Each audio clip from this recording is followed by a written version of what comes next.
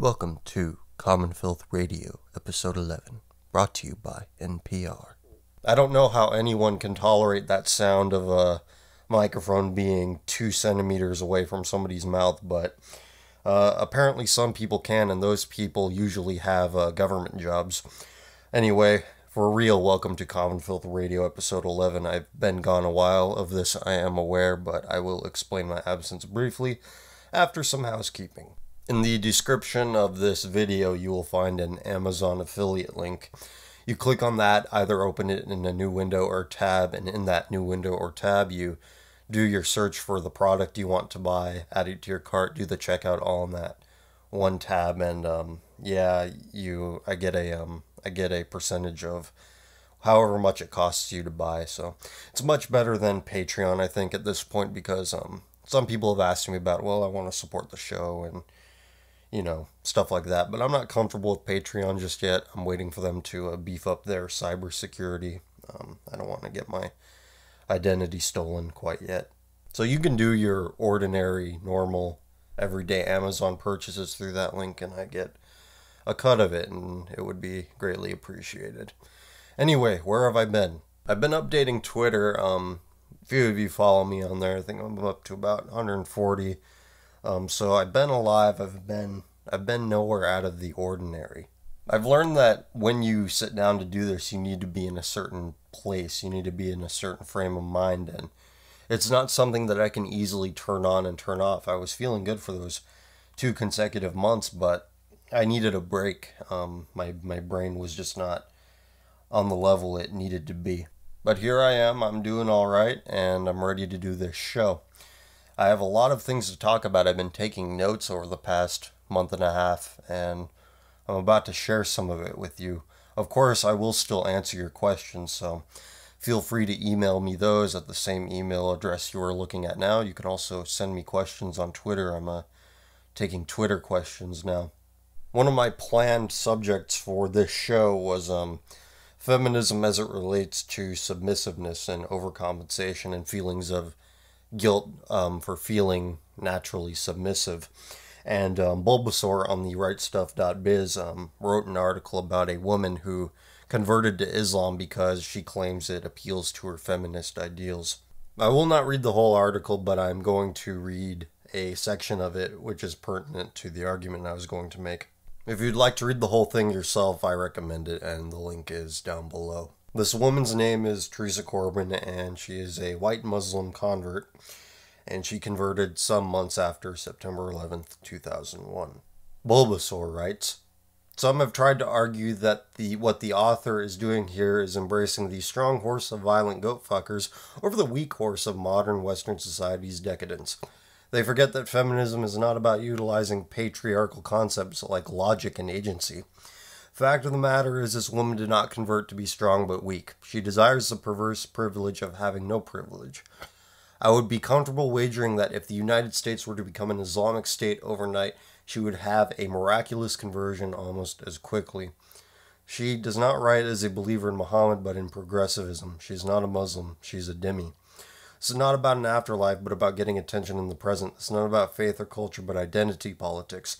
Corbin is too busy waxing relativistic and individualistic to notice that religion is concerned with an objective reality and things outside the self. Oopsie. This brings us to the following hilarious projection. She, she says, It enrages me to know there are some who call themselves Muslim and who distort and misappropriate Islam for political gains. I agree with Bulbasaur that she's not a sincere believer in Prophet Muhammad, but there is something else going on here which he says is not the case, which is she's going with the strong horse out of some kind of logical process, which she isn't, but I'm going to explain. I think this woman is simply going off of the natural impulse that most feminists have, which is to be dominated by something. And it's not about being dominated by men. They don't want that. They think that's a negative. They're taught that that's a negative. Rather, they want to be dominated by institutions. They do not want to submit to a man in their life who actually has some vested interest in her, like her being the mother of his children. No, family is patriarchal, highly oppressive, and possibly bigoted. And I know you're saying that a lot of feminists put on this tank girl persona, but it's really just a front. Look at somebody like Laci Green who talks about getting fucked in the ass on YouTube videos. A woman who so openly admits to all this deviancy is somebody who is crying out for a very strong pimp hand, a strong, consistent pimp hand. Maybe not a literal slapping of the hoe, but um, somebody to keep her in check. Women crave authority and guidance. There is a complete void of that in the Western world. There is no masculinity, it has been outlawed. The only thing that you can really look to as an authority, a very dubious one, are institutions like academia or alternative religions in the case of Theresa Corbin. In Theresa Corbin's small, primitive, reproductive driven brain, she knows that there will be no one to provide her with that pimp hand she so strongly desires. A conversion to a foreign religion like Islam, foreign with respect to language, those of us who speak Latin based languages, those of us who think in Latin roots, it leads you to believe that there is just a complete void of patriarchal influence. I mean, literal patriarchal. Where was her father? Was she a daddy's girl? Was he always saying yes? Did he ever discipline her? Was he even around to do any of these things? She is clearly not getting that influence through her romantic life. She's, let's be frank here, she's not attractive. So, with no strong father, with no strong mate, where does she get put in her place? Where does that come from? It comes from institutions. And this is unfortunately the case in our culture there are no strong men to make sure that everybody is maintaining their proper role. These wayward women put their eggs in the basket of these institutions like universities and Islam in her case, and these institutions have bad intentions. A disturbing question that pops up into my mind when assessing the situation is does she have a choice? And I don't think that she really does. People are weak. People are imperfect. Therefore, they take the path of least resistance, whatever path society makes that out to be. Those who subscribe to a belief system like feminism, as I've established, are probably the weakest among us. In the absence of masculinity anywhere, this is what happens. The lady brain goes haywire. And of course, this is a very extreme situation. Very few women, even feminists, will convert to Islam. Replace Islam with egalitarianism, and you have a very common story.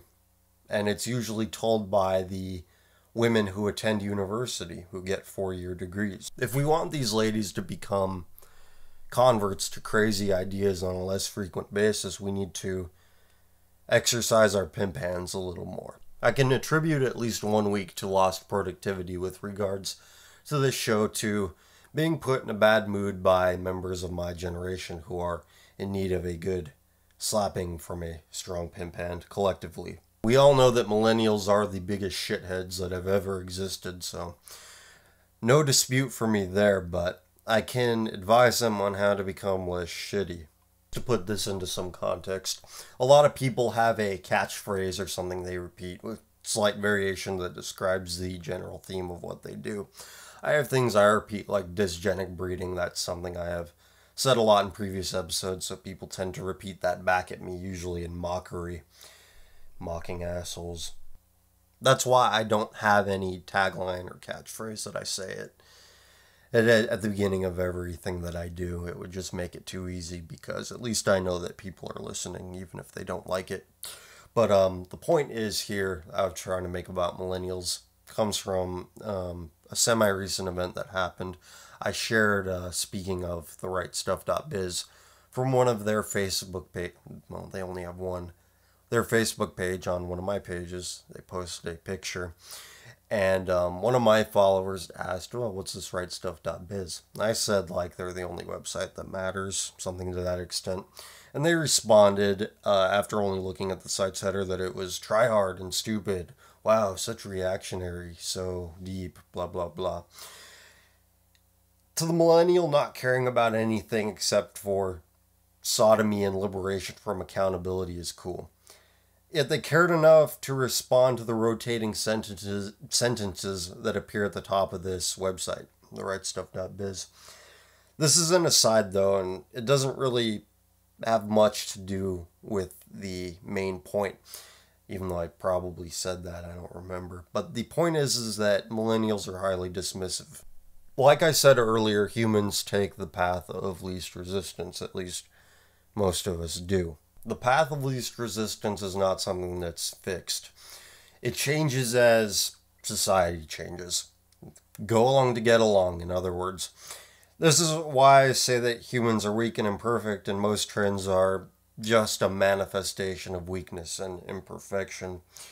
To be dismissive is to take this path of least resistance. It requires no intellectual effort, as evidenced by the reaction that I talked about um, just a few seconds ago. The number one cause, the most important thing in the mind of all millennials, is either institutionalized sodomy or feminism. Feminism or sodomy. It's either one or the other, and they're always one and two millennials are not given anything. They're not given free shit. They're not given any government cheese, goodies, grants, whatever you want to call it, for taking seriously disagreements with these causes like institutionalized sodomy. No one's given an X rated parade for it, for disagreeing with it. No one's getting the backing of every major institution for it. Disagreement, that is. No one gets a favorable grade on their papers for it. There's no incentive to go against these trends. Incentive is what ultimately creates the path of least resistance. Now that I've established this, what incentive do people have for being dismissive? Well, amongst other things, the incentive for being dismissive is pure peer approval. We live in a very gotcha phase of culture or the person who can be the most mean spirited, the shittiest, is rewarded. We also reward those who can point out some apparent contradiction in the behavior of a given person, provided that behavior is removed from any situational context. People who explain themselves cannot do so in the character limit which Twitter allows people who explain themselves do not get featured in, I don't know, the trending topics on Facebook or Twitter or on BuzzFeed or any of its offshoots. The people who are dismissive towards those who explain themselves get all the attention. Like Jon Stewart, his entire career is based off of this. The peer approval incentive is not just in dismissiveness, but it's also in these bizarre appeals to sophistication what is that? It's basically the primary argument by the average person, the dullard who thinks that school makes them educated, not realizing that they aren't educated, but they are compliant, they are submissive. It's not education, they don't know anything. I encounter this appeal quite often on Tumblristas, the page I run it's usually by some idiot telling me that body dysmorphia is a real thing, and then I'm dumb for not realizing that. And I'm dumb for not realizing the cure for it is gender reassignment surgery. It's like telling a schizophrenic that, oh, you're ill, but we're gonna that that thing you're talking to over in the corner there that we can't see, we're gonna put a mannequin over there. That'll make it real. That will be a viable political platform in uh, give it like 10 or 20 years. And it'll be like, oh, taxpayer subsidized mannequins for every crazy person that drinks soy sauce in the Piggly Wiggly parking lot. We can embrace neurodiversity then. And at this point, you're probably wondering, what the fuck? I thought you answered our questions. Don't worry, I'm getting there. Whose question should I answer first? Let's go with Kyle's. I found a communist manifesto in my grandfather's belongings after we moved him into a retirement home. What should I do about this? Well, I downloaded an audiobook of the Communist Manifesto and I couldn't listen to 10 minutes of it. It's unlistenable shit. If more people read Mein Kampf instead of the Communist Manifesto or read them side by side, we'd have a lot more Nazis running around because Adolf Hitler was a far better writer than Karl Marx. Just awful. It's like only the craziest people could ever find any nugget of truth in, well, whatever they deem to be truth in the Communist Manifesto.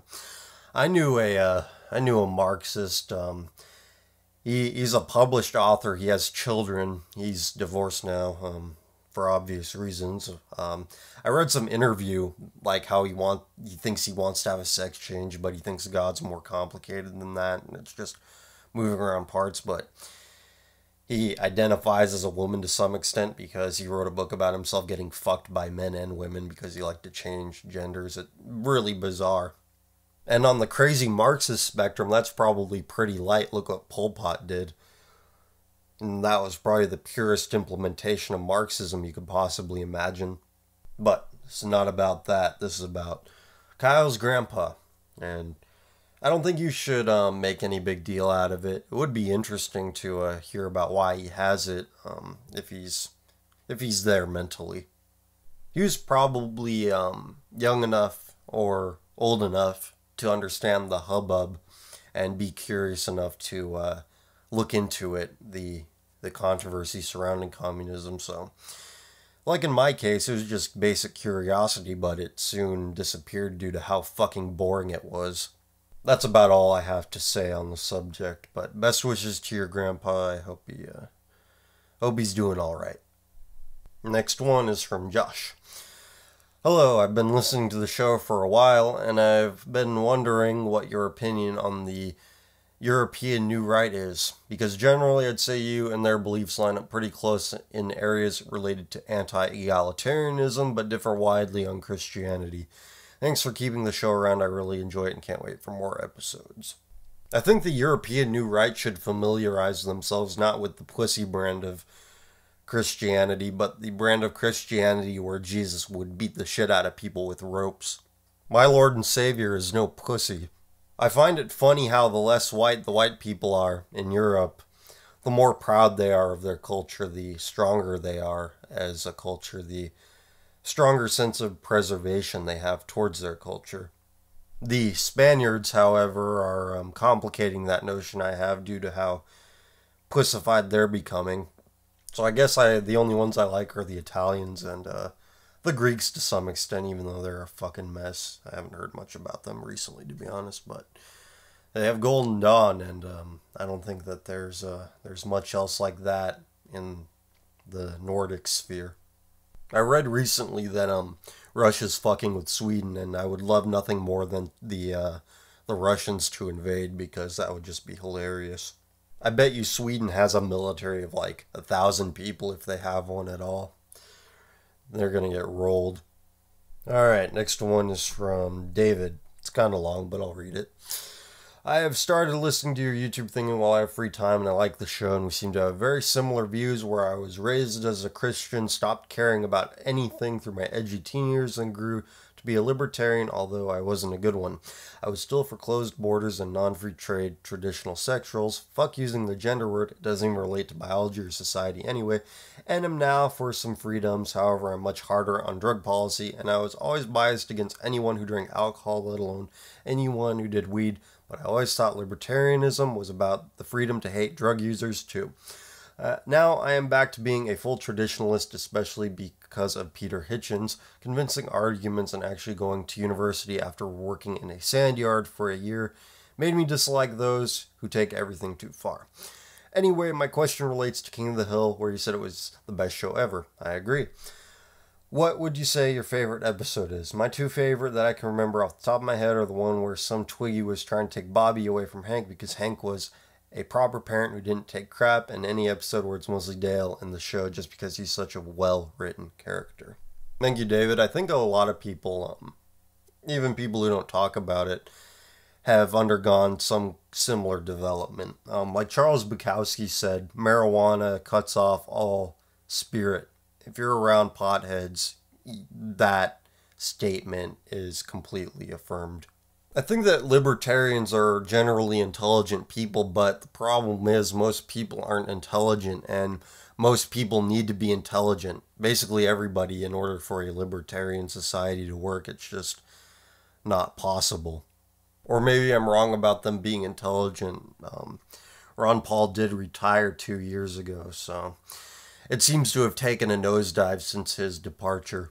For my favorite King of the Hill episode, I um I can't name you one that I watch all the time, but one that uh, I remember pretty vividly is the one where Bobby gets involved with this cool bro church, Jesus as your buddy kind of church, where Hank tells the guy, You're not making rock and roll better, you're making Christianity worse, something to that extent. And I thought the message of the episode was was it hit home a bit. Thank you for telling your uh, story, David. Um, I'm not a uh, traditionalist. I don't put that label on myself, even though I have very traditionalist sympathies. I I don't reject all labels, but um, I embrace very few of them, if any. Gamergate's still going on, apparently. I don't know how they have the uh, the stamina to keep going with that, but somebody asked me about it all the way in the Zoe Zoe Quinn, however you pronounce that, um, pronounce that name. Somebody asked me a long time ago, back in late August, about it, and it's just been taking twists and turns. It's I've been trying to keep up on it, but it's just if you're not actively in the trenches with that, you might as well just wait till it's all over and read about it or hear hear about it from somebody. But if you're uh, pro Gamergate and you're involved with it every day, you're ruffling some Gawker feathers. Those are good feathers to ruffle. I uh, I support you. Fuck Gawker, but not fuck Deanington, who is asking this question. In episode 9, you said that we need a war because due to unchecked prosperity, we have become weak. I do agree with you, but as my country becomes more of a multicultural hellhole with a government which believes that importing more third worlders for cheap labor and can, continues to pass anti terrorism laws to spy on me, so naturally I don't want to fight for my country, let alone die defending it. How can I morally, righteously expect anyone else to do the same when, as far as I'm concerned, my country and government can go rot? Killy D 1994 on YouTube asked, um, "Is patriotism important?" And I think these two questions fit together in a nice way. I am a stranger in a strange land myself. I do not identify with what most of what America is doing and what Americans are becoming what used to be us is now them. And there are very few people that I would say us, we, uh, as in me and other people. So, no, I would not fight for the protections of people who live in large coastal cities, as uh, many farm boys from Arkansas are doing right now over in various uh, Middle Eastern locales and African locales with the uh, advent of Ebola resurgence. I think that war from not an external threat but an internal one is what is necessary for most Western nations. They need to be split apart into ideological factions. I take this position because my technical fellow countrymen are people like New Yorkers or like in Connecticut and Vermont, which are basically like Sweden of America. There's no way in hell that I'm going to do anything for those people. I'd much rather do something for the potato farmer in Idaho. So, this, by definition, would not make me a patriot.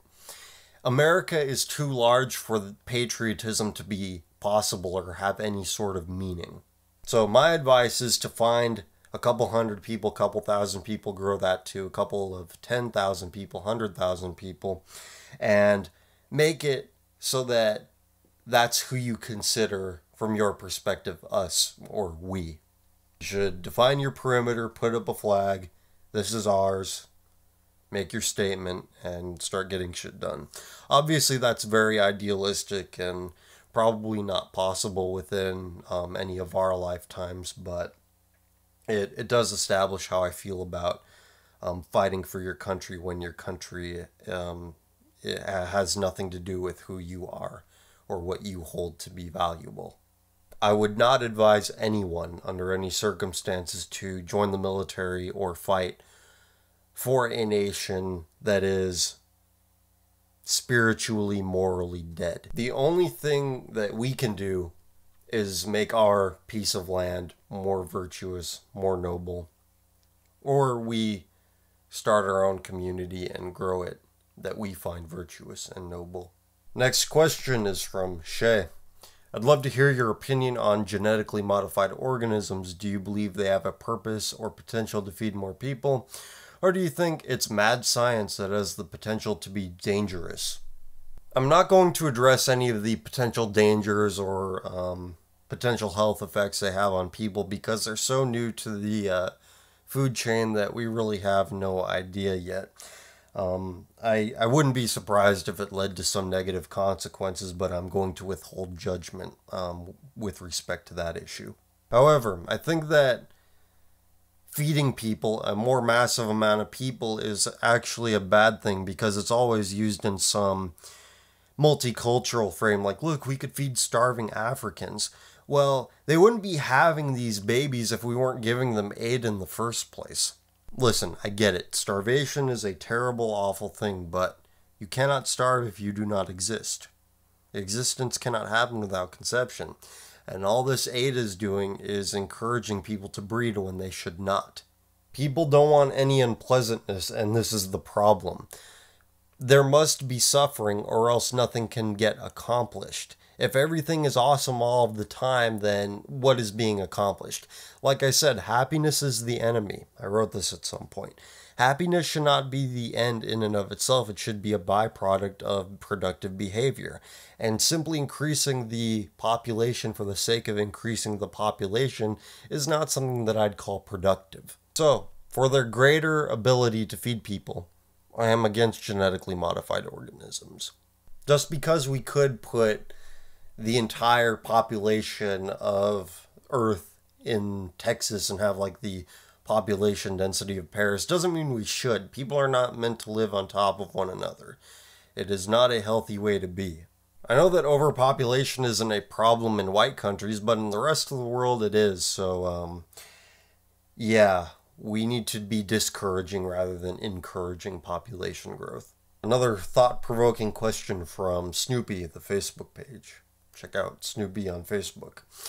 I once saw the amazing atheist uh, somehow correlate the dropping attendance of the Catholic Church with the slight rise of people identifying as atheist in censuses. Do you agree with that proposal? I don't think people are going, oh, I don't suddenly believe in God anymore, I'll be atheist. I think church attendance is dropping because of our modern day 24 hour society where we don't have the time to go to church on Sunday because we have to work. I also think recent revelations about institutionalized child abuse by religious orders like the Catholic Church, the Church of England, and Judaism is causing a distrust in these organizations. Faith itself isn't dropping. I think many people still believe in God in some form. I know from seeing the Royal Commission into Child Abuse here in Australia has made me less trusting of the people who claim to represent God. Long read, I know, but I do like that your show is so thought provoking. Not a lot of places these days allow you to speak freely, even if it's not 100% politically correct with today's pro left mainstream media. The people who are identifying as atheist um, more recently are probably people that never would have attended church in the first place, so I don't see the Catholic Church uh, affecting rates of faith uh, too much. I know some former Catholics, and some of them don't really believe anymore, but most of them um, have moved on to other congregations. So, yeah, I don't see I don't see his um, reasoning holding up there. It's also a function of atheism becoming a um, becoming more of a belief in and of itself. Um, some people have made the argument that atheism is just an offshoot of Christianity, just like um, Protestantism is a reaction against Catholicism if somebody truly has no belief in God, they don't use God to make arguments like the atheists do. They say, well, the Bible does this, so why don't you do that? I know more about the Bible than you do. Well, motherfucker, if you don't believe in it, then why are you fucking reading it? Why are you using it as a means to win an argument if it's not real, if it's all invalid, if it's all just, oh, there's a invisible man in the sky, it's just adult fairy tales. There's a token dismissive millennial argument. Most people who are church going and who believe in God aren't going to have that belief impacted too much by the actions of man, even if they are on the behalf of what they claim to be God. Because these things clearly are not godly. We know that intuitively. I've seen those horrific rabbi circumcision pictures, and Many people have likely seen them, but I don't think anybody has seen them and said, This happened, therefore God doesn't exist. It's just not reasonable. I agree with you that society is becoming more around the clock materialistic and people tend to go away from spiritual things when they're distracted by shiny objects like money and the things that can be bought with it. I remember reading an article about Sylvester Stallone, who is a Catholic, and with the success he saw in Rocky, he got a lot of money from that, and he said he was very seduced by all of it. And then his child got sick, and because of that, he was brought back into the fold of of paying more attention to his uh, spirituality. No one wants to have that come down back to reality after having some success. They just want the good times to last forever without taking a step back and reassessing everything, making sure everything's okay, and looking to God for guidance. I think people are being more drawn to atheism because of that. It doesn't it doesn't provide you with any grounding. It doesn't provide you with any reassessment of what's really important in life. There's nobody to answer to, so just live it up all the time and it's it's very unhealthy. I got another question about the Westboro Baptist Church from Sean. I didn't even know they were still relevant after um hell, even before Fred Phelps died, they were kind of on the on the downswing. But from Sean, your views on the Westboro Baptist Church. I used to see them as an extremist group until I realized at any other point in history except ours, their acts would be acceptable. I know I wrote about this um, some time ago, um, infamously saying I have my sympathies towards them, but honestly, it's it is a matter of they're the only people against what they're against. And as, insane as they are, it, it speaks volumes to the cowardice uh, in our culture. They're the only ones who say that the military isn't something to be celebrated because it is. They defend our freedoms. When when was the last time they defended any freedom other than, oh look, we shot some Muslims. That defended our freedom. No, if they were really defending our freedom, they'd be doing some shit that I couldn't say, uh, lest I be arrested. Look, I have a lot of respect for individual soldiers, but as a whole, I just don't like the institution the military has become in the United States. So listen to a few of the previous episodes. I don't remember which one, but I explained um, pretty early on in one of the episodes, if I recall correctly, that I I elaborate on um, what I said on the website some months ago. Okay, next question from Vincent. I was talking to a friend and I use that term extremely lightly, and she was talking about how much she hated her dad. Why do kids nowadays hate their parents so much? I know there's the whole teenage rebellion thing, but it seems to go much further than that, even condemning their own parents. What is your opinion on this whole matter? The problem is that kids have no sense of morality or ethics or anything to make these judgments. They just have their own whims and impulses that they think should be fulfilled because they feel them and they feel good, and nobody should say no because everything should be great all of the time. So, the first true tastes of discipline and the first few false thoughts in the teenage brain, or however old they are, that they should be independent and they're their own person. It there's bound to be a conflict, but given good parenting techniques, the conflict should last not very long. But your quote unquote friend probably does hate her dad because her dad's probably a decent person. Moral inversion can be found everywhere, and teenagers are no exception. Look, look who the greatest critic of Judaism is in Western culture right now. It's brother Nathanael, who is Jewish. The only guy writing books about masculinity, Jack Donovan, is an open homosexual. It's we live in very strange times. So if her dad's uh, pimp hand is strong, she will uh, soon learn the ways of keeping quiet and not airing her dirty laundry. Everyone wants to be a victim these days. It's the cool thing to do. It's because victimhood is a void. Something is being done to you, something is being taken from you. And we tend to notice the things that are missing rather than the things that are there. And unfortunately, victimhood gets you credit somehow. It's like fucking Anita Sarkeesian bitching about the patriarchy because some guys like to see women in bikinis and that's bad because that's the patriarchy and you know, all this kind of circular logic. You know, not everybody wants to rape you. The rape is coming from inside your brain. Projection and solipsism. Look them up. During the hiatus, I was listening back to a few of my episodes and um, I did spot a contradiction um, not in the same episode, but between episodes. Um, I don't remember which one. I don't keep. I don't keep a list of what I said for each episode. That would strike me as highly narcissistic. But I said that people can rise above the means which contain themselves, and I've also said that people can't rise above the means which contain themselves. Which do I believe, and what do I mean by this? Well, I believe both of them. Unfortunately, most people are not capable of rising above the means which contain them. And what are the means which contain them? Well, ability, intelligence, um, just impulses in general. The means which contain people can be biological, and that's mostly what we're talking about, but they can also be societal and cultural, like several Division One football programs openly uh, saying that they won't recruit certain positions if the people who hold those positions are white um, regardless of their production in high school. But we're here to talk about questions, not that. And we're going to talk about Pendrake 113's questions um, from YouTube.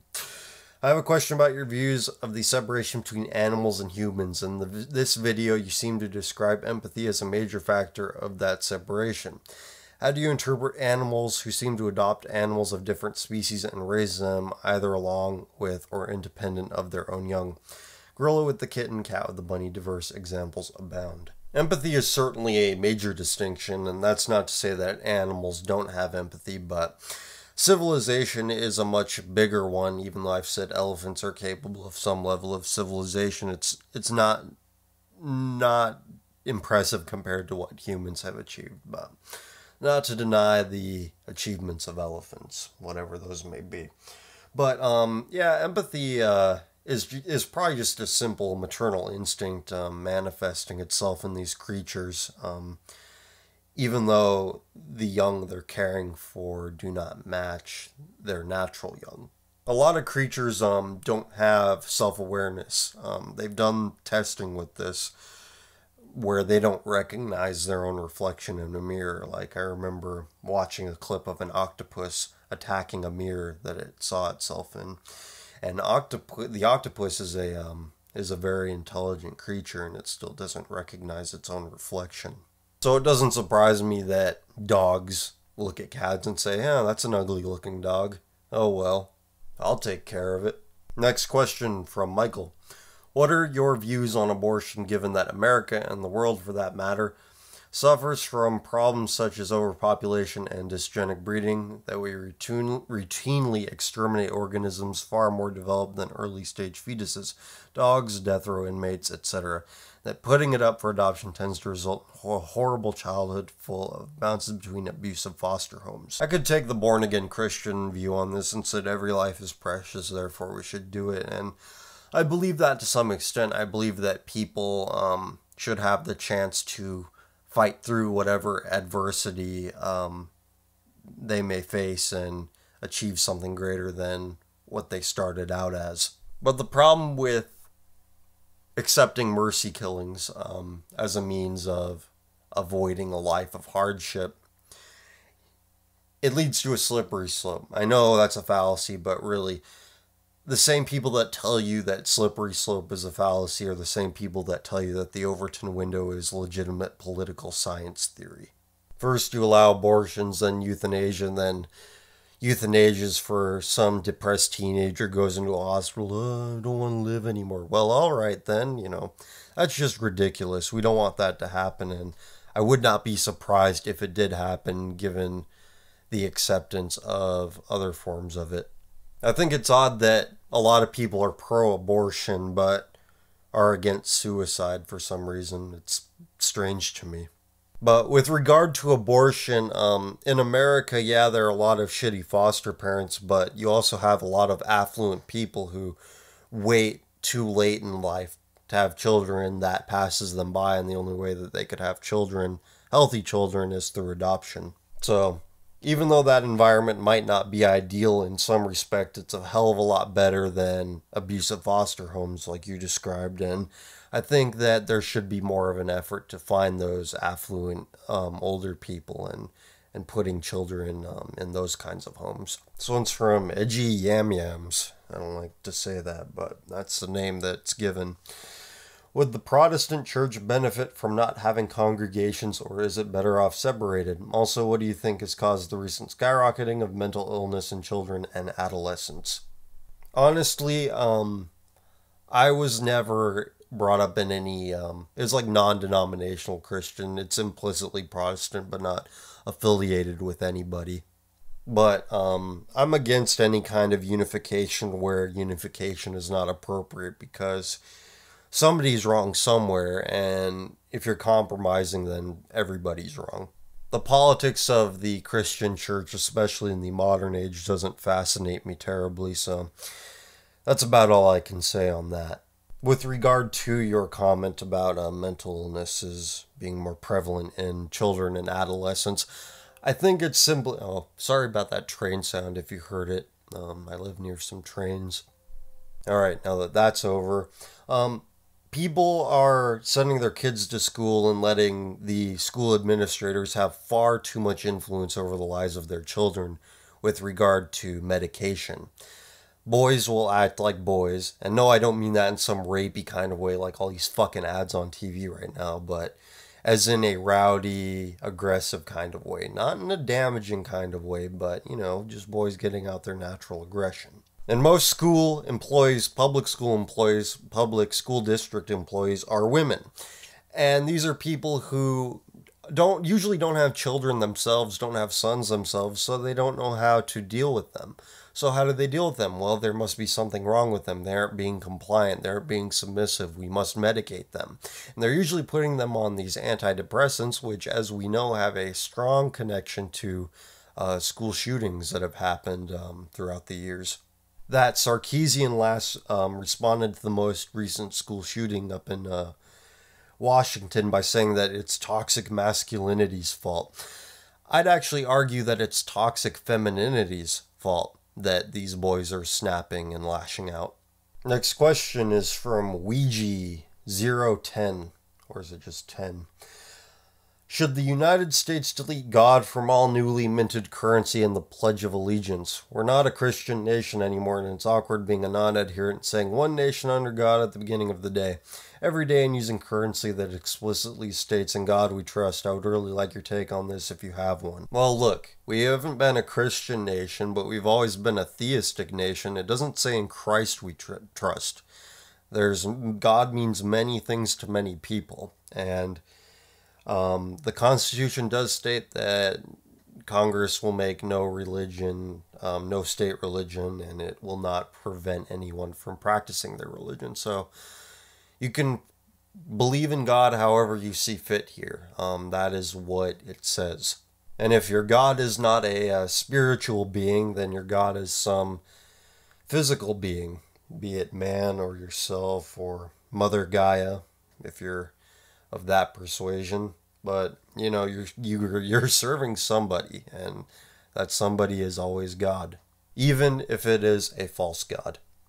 All right, last question from Frank the Tank OS on YouTube. Do you ever plan on having guests or interviews on the podcast? Yes, but um, I'm not sure when, and it's it's hard to arrange time, especially if you're in different time zones and you have your spots of free time in different places. But I'd like to have uh, my friend Local M on. I'd like to have Sam Hyde on, even though he's busy, um, and I don't really know him. But that's like he's like the ace of spades on my list. I'd really like to have him on. And there's some cool people on Twitter that have um, that have said, "Hey, you should have some people from the neo-reactionary on." And I certainly like a lot of those people. Um, the Reactionary Tree, Anti-Democracy blog, they've all they've all been really enthusiastic about the work I do on this show, and um, I definitely appreciate that. All right, so we're going to try to make this a weekly thing again, so inundate me with your emails at commonfilth at commonfilth.com. I will be sure to respond, or you could get in touch with me on my Facebook pages. Um, you know the ones. And um, that's about it. Uh, thank you for listening. It's good to be back, and I'll see you next week.